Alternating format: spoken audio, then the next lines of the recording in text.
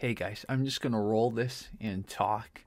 So, in positive psychology back in the day, we did this exercise where we would write a thank you letter to someone, whether send it to them via email or don't even send them, just write a thank you letter. And back then in positive psychology, it was touted as a gratitude exercise, basically practice being thankful. And obviously there's validity slash uses to just practice gratitude, practice being thankful. But recently I've kind of had another way or another tweak of thinking about this. So a lot of you know I've been going to therapy for basically a year and sometime just slightly after this month last year I started getting anxiety and I'm still dealing with it but it's kind of a lot better but the beauty of these moments is that it's usually a signal from your body that there's something in your mind that you just need to go figure out. You need to kind of like if some part of your body needs to heal, it's the same thing in here. So I started going to therapy and through doing what's called EMDR, I started uncovering and dealing with a trauma I had in 2008. And I had a really bad concussion in 2008. And you could say I'm still dealing with it probably not physically, but definitely mentally, because it altered a lot of my life trajectory. As your brain repairs itself and rewires, sometimes it just aren't the same. You're never the same after a concussion. And I had the concussion while I was doing volleyball. And so as I'm doing EMDR related to this concussion incident, it's digging up all these funny, not so funny, but all interesting memories related to when I played volleyball. It's so crazy. So I played volleyball with this Asian, both basically Chinese. It wasn't just Asian. So it was a Chinese organization in the DC area called CCACC. I don't even know what that stands for, but I just remember CCACC.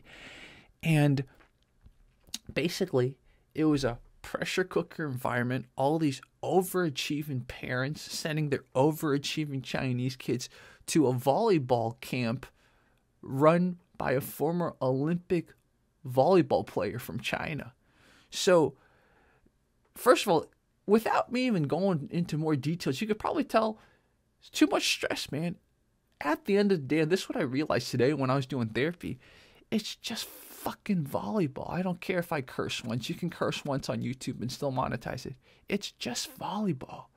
But because we're under such a pressure cooker environment, so many straight A students, so many students with dreams of going to the Ivy Leagues, and the coach was on the Olympic gold medal winning Chinese team in the 80s. Volleyball wasn't fun. It wasn't a fun experience. It was too stressful. And so one thing led to another. I got a concussion once in volleyball. I'm not going to go through that because I'm going to therapy. I'm learning to reprocess it and build a lot of great things from it. But one thing that sort of came out of all this is that I realized there's a lot of things left unsaid. And this is where it connects to the beginning. You see, there were quite a lot of good people in that volleyball little club I did. Lots of talented people, Lots of people who are under way too much pressure from the coach or from their parents, but they were good, talented people. And I was too young back then in high school and, and even in college to really express what I want to express to them now. But now, after all these years, I can kind of express. You're looking back on it, you're much older. And so I quit Facebook in 2020. I don't know if I told you guys. I quit Facebook in 2020. I couldn't do it anymore. And I actually just got on Facebook because that was the only place I knew where I could find some of these people. As you know, a lot of these people are just slightly younger. Um, what do you call this? Gen Y, aka millennials. So if they were Gen Z, I could find them on Instagram. But a lot of these people, the only place you could find them is Facebook. So I got back on Facebook just to do this. All any person that I wanted, even back then, but now especially as I'm reprocessing some of these memories to say something encouraging or something nice to or thanking them. I'm just writing. I don't care if they don't ever see the message. I hope they do. You know how Facebook is with its private settings, but at least I'm putting it out there into their their whatever you call it. You know, I'm so removed from Facebook. I don't even know what is it called. Feed? Is it their messages? Is there? I don't know what it's called, but at least I'm sending them something just to say what I always wanted to say. So at the end of the day, this is just the lesson I wanted to pass on to you guys.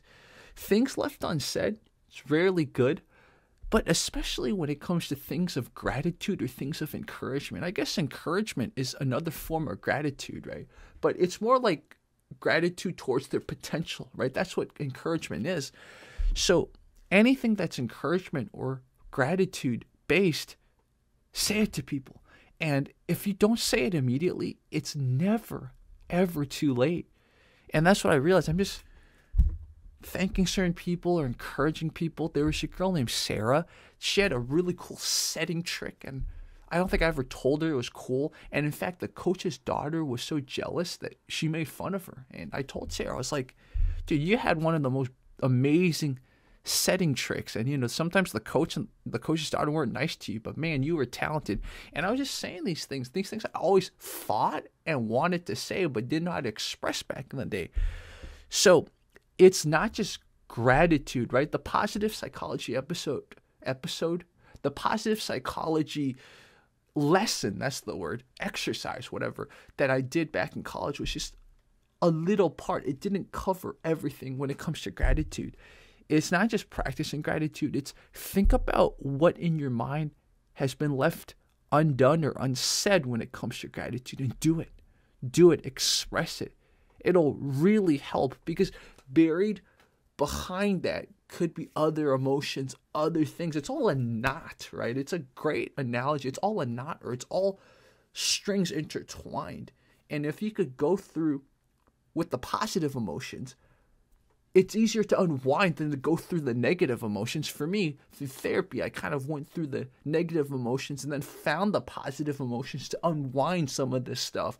But why not if you just practice gratitude, especially gratitude towards the past, things that, let's say, you left unsaid that you can always go do or go say. Maybe that's an easier way of getting to some of those negative emotions and reprocessing it. So I don't know if what I'm saying makes sense, but it's something that I've been thinking about. And this goes back to a lot of you know in 2020, I almost died, but last minute jumped out of the way in a car that ran a red light, sped by, didn't kill me. So, what I never told anyone about, except my therapist, was that I saw the guy who yelled that day and saved me. I saw him. But that was around the time when the pandemic started. So everyone was really uncomfortable. Everyone was in a mask. And I wanted to go up to him and say something. But I, first of all, I was afraid of making him uncomfortable. I wasn't too scared. I'm not too scared of all this stuff, but I didn't want him to feel uncomfortable because obviously he was much older. I didn't want to, let's say I was carrying something, I don't want to give him anything. So unfortunately, I didn't get to say thank you. I gave him a look, but I don't know if he can understand from that look that I very thanked him for basically saving my life. So this was one of my regrets because, first of all, he's an older gentleman. I don't know if he's passed away or not, but even if he's not passed away, maybe he's moved away. If I could go back in time, I wish I could go up to him and be like, hey, I know everyone's uncomfortable right now because of this thing that's going around, but I just want to say thank you. You saved my life. Forever thankful for you.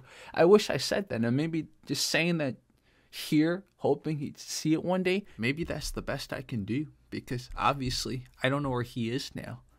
So maybe that's where I end this video.